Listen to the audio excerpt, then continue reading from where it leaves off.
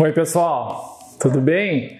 O que aconteceria se 30 pessoas passassem seis semanas comendo duas goiabas por dia? Pois é, um estudo científico foi feito para observar isso. Fique ligado para saber o que aconteceu.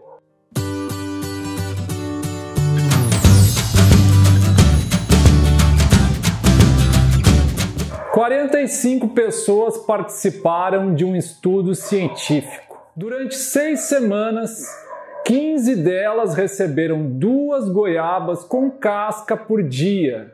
15 pessoas receberam duas goiabas sem casca por dia e 15 pessoas não receberam goiabas. Essas pessoas ficaram como um grupo de controle. O que aconteceu com essas pessoas depois de seis semanas?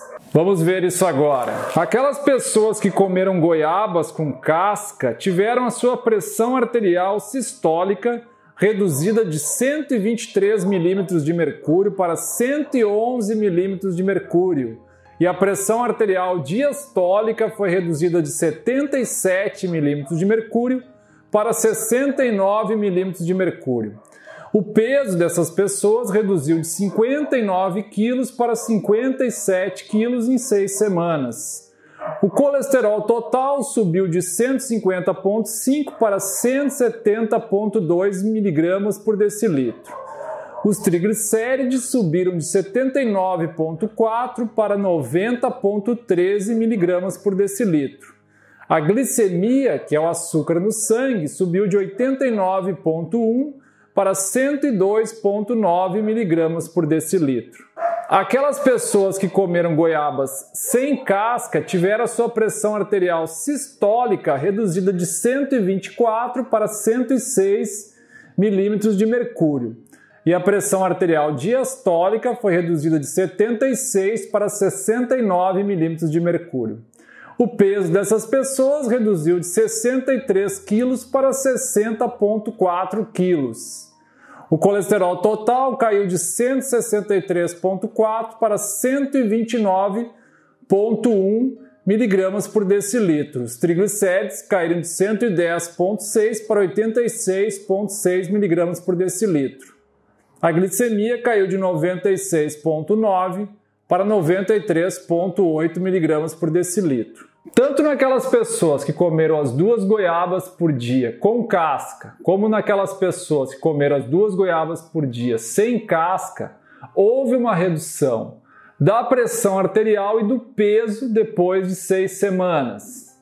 Naquelas pessoas que comeram as duas goiabas por dia sem casca, além da redução do peso e da pressão, houve também uma redução do colesterol total e dos triglicérides. A glicemia também sofreu uma redução, mas não foi significativa do ponto de vista matemático. Só as outras reduções é que foram significativas do ponto de vista matemático. O que nós podemos concluir a partir dos resultados desse estudo? Que o consumo de apenas duas frutas a mais por dia, no caso a goiaba, pode causar um significativo impacto na nossa saúde. É por isso que nós enfatizamos tanto o consumo de frutas em nossos vídeos e em nossos textos. Realmente vale muito a pena comer mais frutas. Isso consegue dar uma bela arrumada na nossa saúde. No geral, as pessoas comem muito poucas frutas no dia a dia. Tem pessoas que não comem nada de fruta no dia a dia, tem pessoas que comem uma fruta por dia, outras comem duas frutas por dia. Isso é muito pouco.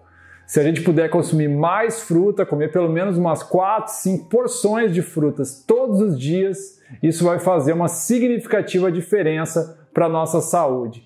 Antes de mudar a sua alimentação, antes de começar a comer duas ou mais goiabas por dia, recomendamos que você converse com a nutricionista, com a sua nutricionista, com o seu médico, para discutir com eles mudanças na sua alimentação, principalmente se você já usa remédios de uso contínuo, se você tem problemas crônicos de saúde, se você começar a consumir mais frutos assim sem comunicar ao seu médico, muito provavelmente você vai precisar reduzir as doses das medicações que você está usando. Então, por isso é importante você fazer uma avaliação médica.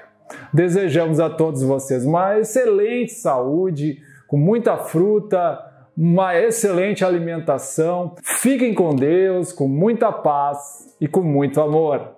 Tchau!